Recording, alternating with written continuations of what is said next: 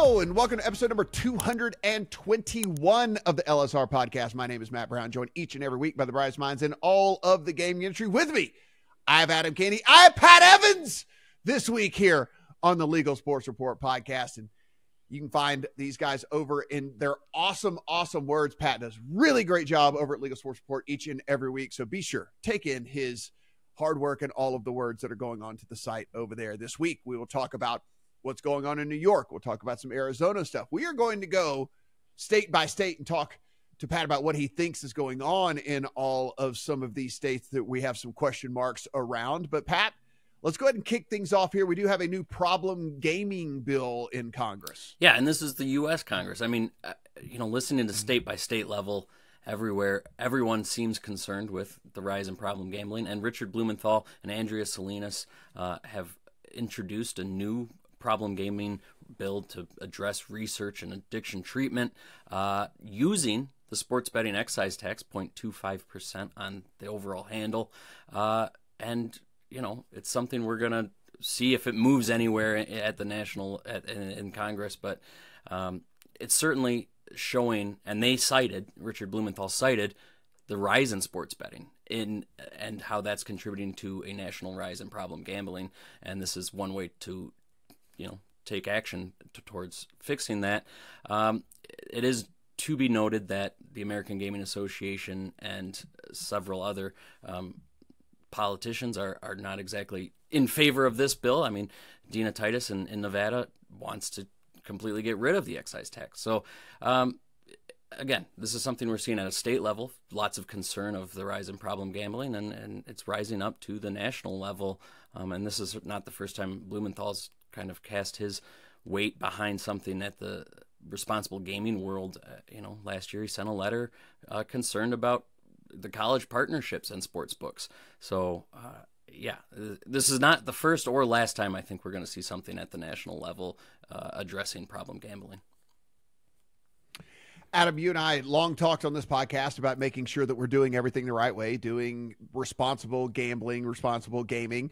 We've also talked about the fact that it's not just necessarily a, oh, there's more sports betting. So obviously there's more problem gambling. We've also highlighted the fact that, hey, these sportsbook offer you the opportunity to self exclude if you want to do that. There are certain measures in place within if they see some odd and suspicious activities that are going on.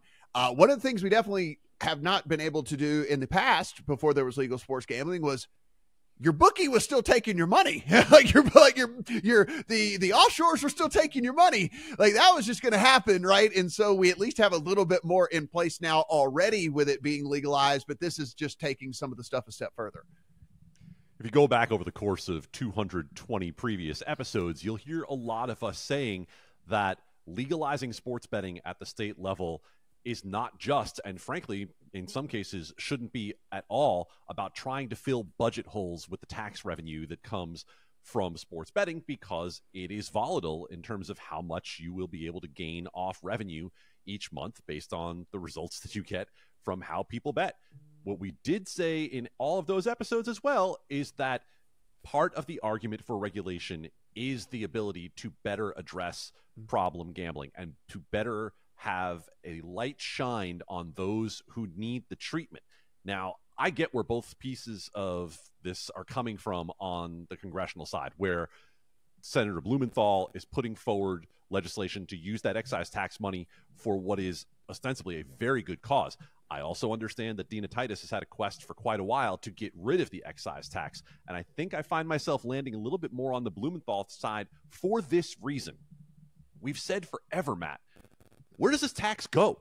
What does this money do? It's a drop right. in the bucket when it comes to the federal budget, right? We're talking about an amount of money that means nothing in the grand scheme of what the United States has in its coffers.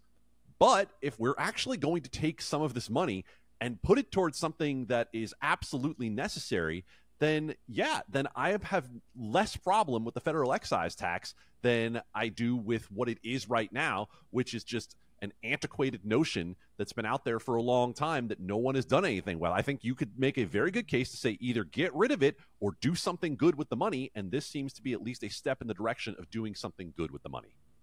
Yeah, Pat, that's kind of the been the biggest thing about all this, and the reason Dina Titus has, has been on this crusade against was just the fact she's like, Where's the money? Is there like a, a, Scrooge McDuck vault somewhere where all this money is like just sitting and like there's someone swimming in it and like like like where is this money? Where's it going? What's it being done? So like she's kind of like, listen, if we have no plan for this, then it's just pointless for us to keep taking this money when there's absolutely no plan. So I, I'm I'm with Adam. It's like if there is a plan, cool, fine, keep it if we are not going to come up with any sort of plan, yes, get rid of it because it's just it's it's ridiculous to have something where we're just oh yeah we're going to take this money. What are you doing with it? Eh, eh, eh, figure, eh, whatever, we'll figure it out. Yeah, I mean it's I, I think it's about five hundred million dollars since 2018, which again to Adam's point is not a huge amount of money in the the greater scheme of American uh, budget. Um, but yeah. I, if you're gonna take it, you might as well put a good use to it. And and under Blumenthal's plan, it's uh, about I think it's 75% to the states uh, and and 25%. Uh, my percentages are probably off. I'm not looking at it at, at the moment, but to to national uh, research. So it's it's good. You know, for those things, it's probably a lot of money, but for the broader general fund where it's going right now, it's not. So, yeah, if it's, you know, if you're just throwing it to the general fund, you might as well get you get rid of it and provide sportsbooks a little bit more money to combat offshore, uh, you know, make their product more appealing. Mm-hmm. Or if you're still going to take it, make it useful for the industry. Adam, let's head over to New York. And, you know, we talk the vast majority of the stuff we talk here about on here is sports betting, but we do hit the DFS angle for some for some of the stuff. When there is poker news, we talk a little bit about the poker news out there, and certainly we hit iGaming news whenever that is available to us as well. And so a little bit of stuff coming out of New York from that. Yeah, and look, this is not the first time that we've talked about iGaming and New York. There was a bill that dropped last year from Senator Joe Addabbo, and it really didn't go anywhere at all. And we're kind of in a similar spot this year where there's another attempt, but the governor did not include iGaming in her budget, and that is going to put a major crimp in trying to get anything done. So you've got a 30.5% tax rate on iGaming in this bill from Senator Joe Addabbo, which might sound like a lot until you remember what New York's sports betting tax rate is at 51%. And I think the most important thing to keep in mind with this story is that iGaming legislation is not going to be the straight line that a lot of sports betting legislation has been. It is a much harder sell in terms of those who have responsible gambling concerns. It is a much harder sell for casinos who are counting on people coming through their doors to play and don't want to deal with the unknown boogeyman of whether online casino will take away from that. There's a lot of research that shows that it's additive. However, uh, try taking the games that they're used to having everyone come into the casino to play and throwing them on a phone and telling them that they'll still be able to make money in terms of the entire ecosystem of what a casino is and that is going to be a very hard sell. So i think with these igaming bills what you're going to see is that it's going to take multiple years it's going to take multiple iterations and there are not going to be as many states that ultimately pass igaming bills. But for the long-term viability of the standalone sports betting operators in particular, like the DraftKings and FanDuel of the world, it is important that they expand the market when it comes to iGaming because there are only a handful of states in the United States right now that allow for it, and those states have been robust. Yeah, Pat, in the in the grand scheme of things, right? The the the the true upside play for all of these companies is is iGaming, right? I mean, we know that sports betting, sure, it's nice, but it is a it is still a small margin business in the grand scheme of things, and the iGaming has the infinite upside. And I'm sure if we were to talk to people who are investors in these companies and all these things that are talking about long term future, you know, what is the long term aspect and, and what we might be looking at, it's always the iGaming factor that's kind of lingering out there because should that even pop in a few more states, even right? I mean, even a few more states is a significant revenue uptick for these for uh, for these companies, and certainly New York, the size of New York would would be huge. Yeah, New York would be huge. Uh, but to, to to all of this, I mean, I was just down at the National Council of Legislators from Gaming States. It's a mouthful. Down in Florida, there's winter meeting, uh, and just last summer, we we heard a lot of okay, iGaming's next.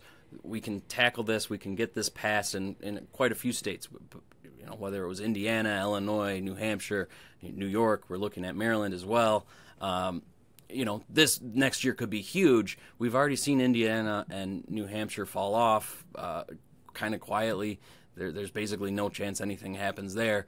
Um, Maryland's a, a, state that a lot of proponents are very excited about, but I just watched a study yesterday or a study hearing yesterday that the politicians are raising similar flags uh, that we've heard from in the past, uh, whether it be diversity and inclusion, which is huge in Maryland in everything they do, uh, to uh, you know job loss at bricks and brick and mortar casinos, uh, and and problem gambling uh, jumps they're worried about. So, you know, we're seeing this, and and so then at the meeting this this month, it's been you know the stakeholders have rolled it back a little bit of being really bullish and saying this is going to be a multi-year chip away at it uh, rather than we're just going to get it done in, in one full swoop like many of the sports betting states. And and we'll see how long it those those chipping away takes but uh, a lot of it's not looking good this year. Yeah adam um, i'm sure if we started listing off between the two of you how many uh, mouthful conferences that you guys have been to over the last five years, we could probably get some really interesting ones going on here. I know that you like to come back with the seven word conferences that you've gone to here recently. Like that's one of the things you like to talk about. There's a reason that when we talk about the conference that Pat just mentioned, we say nickel G's and it sounds like a dive bar that you went to in your college town. Oh, Nickel G's, that five dollar yeah. beer night. Oh, I loved yeah, it. Yeah, that was am- oh amazing. my god, I used to I used to get hammered at Nickel G's. That was my favorite. Uh, so it's amazing. a lot easier than saying all those words that Pat just said. it's it's great. I love uh, anytime y'all come back from a conference and you're just like, yeah. So I went to the South Central and North American sideways, up and down, left and right, uh, uh, include Canada gaming conference this year, and then whatever. Like, oh, all right, yeah, all right, interesting, that's fun. Who was there? Uh, well, yeah, I mean, so we'll, we'll go we'll go and do all that.